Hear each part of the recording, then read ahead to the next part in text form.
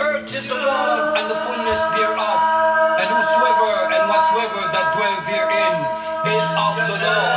For God so loved the world that he gave his only begotten Son, that whosoever believeth in him should not perish, but have everlasting life.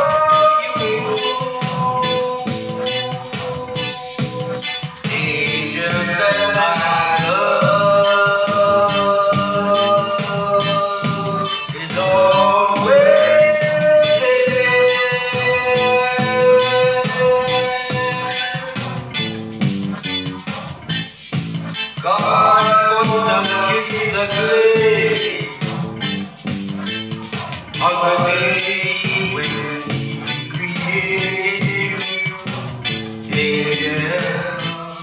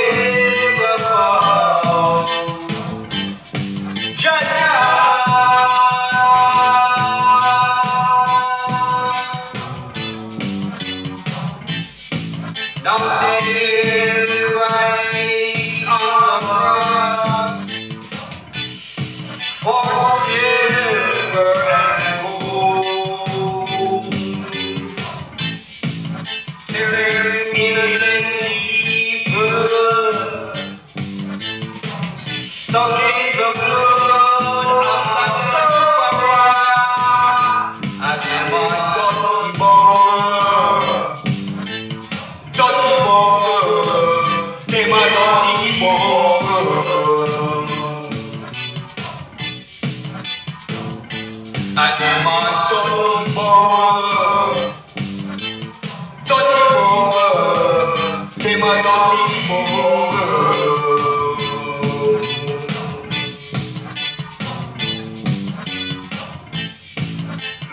what I've done.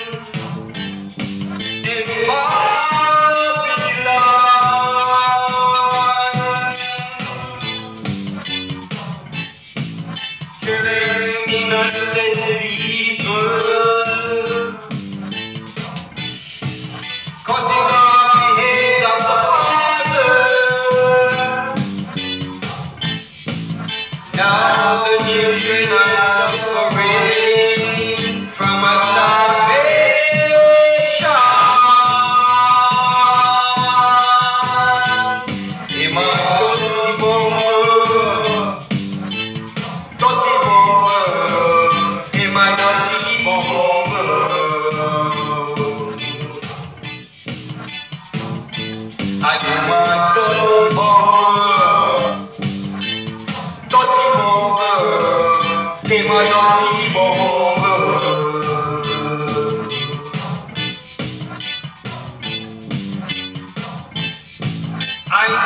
good, double